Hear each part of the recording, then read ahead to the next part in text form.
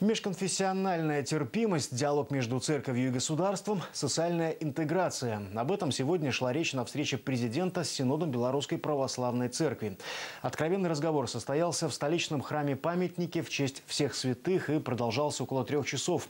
За это время удалось обсудить самые разные темы – от возведения новых храмов до строительства отношений между епархиями и местной властью. Еще одна заметная инициатива – возобновление работы Общественного консультативного совета по нравственности. Евгений Пустовой подробнее. В церковь президент пришел с цветами и четкой позицией. Обсудить с духовенством все проблемы, без ремарок. Красная роза Александр Лукашенко возложил к памятнику патриарху Алексею II. При жизни первосвятитель поддерживал белорусского лидера в идеях интеграции братских народов и приверженности традиционным ценностям. К открытому разговору о важном располагает и сама атмосфера. Встреча в храмовом комплексе всех святского прихода. У нашей страны уникальный опыт. 12 лет назад подписано соглашение о сотрудничестве государства с Белорусской православной церковью. Но этот диалог ведется не в бюрократическом тоне, а весьма дружелюбной атмосфере.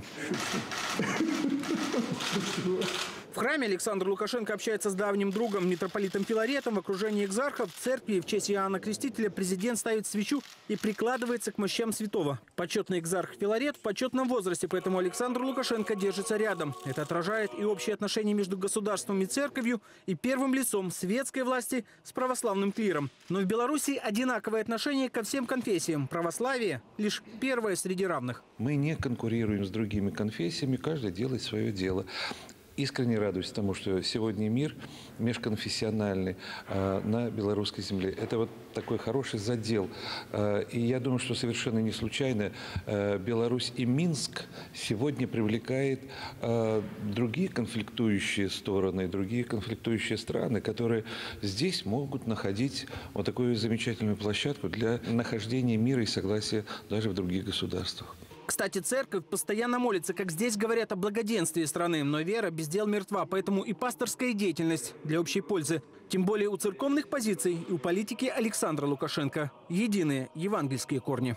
Убежден, что наша дальнейшая работа будет по-прежнему носить только созидательный характер и позволит скоординировать усилия по укреплению общества и его духовному обогащению. Издавна именно церковь служила вестником надежды и веры, помогала человеку на пути к христианским идеалам. Ее авторитет и опыт сегодня востребованы как никогда. Из истории нам хорошо известно, что основы православной веры – справедливость и человеколюбие, воодушевляли людей на подвиг. Именно эти ценности помогали им с достоинством переживать самые тяжелые времена.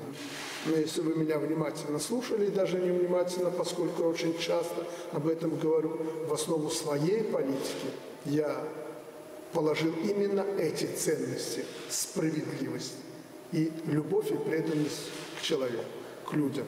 И здесь у меня нет никакого двойного дна в этой политике. Это действительно искренне. Александр Лукашенко сразу отметил, диалог должен быть открытым и предельно откровенным, как исповедь у священника. Церковь консервативно стояла и должна стоять на страже ценностей и государственности. Раздробленные княжества в Киевскую Русь объединили общие идеалы христианства. Теперь у церкви такая же задача – сохранить наш нравственный облик, а значит само общество, в итоге государство. Успешным примером сотрудничества, или говоря по церковному соработничеству между государством и церковью является вот этот всехсвятский храм. Но таких примеров масса и не только в осязаемых формах. Дорога к нравственным идеалам, а значит и благополучию общества, напоминает вот эту лестницу. А подниматься вверх по ней всегда легче вместе. В Беларуси православие открыто к диалогу с остальными 25 конфессиями, которые все вместе представляют интересы каждого седьмого верующего белоруса. Православные храмы становятся площадкой для этноконфессионального диалога. Год назад в Всесвятском соборе собрались тысячи человек. Молитва за Беларусь стала и общегосударственной, и семейной. Александр Лукашенко участвовал в ней со всеми сыновьями. Нынешняя встреча не такая масштабная, но не менее значимая. Светская власть никогда не забывает духовную. Эта встреча по форме традиционная, а вот по содержанию весьма значимая. От вопросов строительства храмов до строительства моделей общения с обществом в эпоху потребления информационных субпродуктов. За духовным изломом следует раскол общества, а Беларусь остается островком межконфессионального диалога. Священнослужители принимают активное участие в патриотической работе, прославляя героизм белорусского народа в годы трагических событий, выпавших на его долю. Ведь он выстоял благодаря высокой духовности, благородству и мужеству. Смею заверить, это абсолютное мое убеждение. Никто больше, как священнослужители и церковь Беларуси, не делают в этом больше в мире, чем вы. Я особо подчеркну конструктивную позицию духовенства в отношении современных политических событий, происходящих в нашей стране. Это в очередной раз доказывает вашу заинтересованность в динамично развивающемся белорусском государстве. Другие конфессии должны взять пример с Белорусской Православной Церкви и готовить из граждан Беларуси священнослужителей. Здесь должны служить белорусы. И люди, пускай иностранцы, но беспредельно преданные нашему народу и нашему государству. С первых дней своего президентства я провожу эту линию прежде всего в отношении католиков. И здесь у нас подвижки разительные. Очень много пришло священнослужителей белорусов в католическую церковь. Окормлять духовно белорусов должны священнослужители с белорусской пропиской. Религиозный альма-матер строят под патронатом государства. По пять таких заведений у католиков и протестантов, у православных семь. Четыре финансирует государство. Здание Духовной Академии в Минске тоже возведено с поддержкой властей. Новый проект – завершение реконструкции Жировической обители. Этот монастырь – лицо православной Беларуси. А вот за обликом тех, кто в сане, должны следить сами экзархи церкви. Прихожане в церкви, мы говорим граждане Беларуси.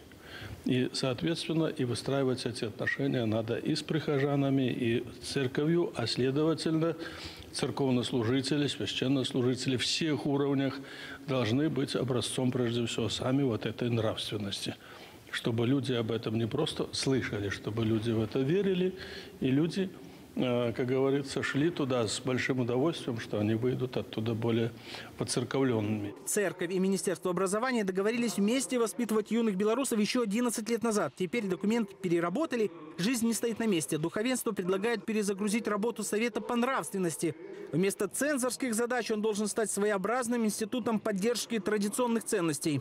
И здесь пасторское слово за духовенством. Мы э, надежные, твердые опора нашего общества. Вот это должны все понимать. Мы не претендуем на э, какую-то политическую или социальную власть. Мы должны делать и делаем, и стараемся делать все возможное, что мы должны делать как священнослужители.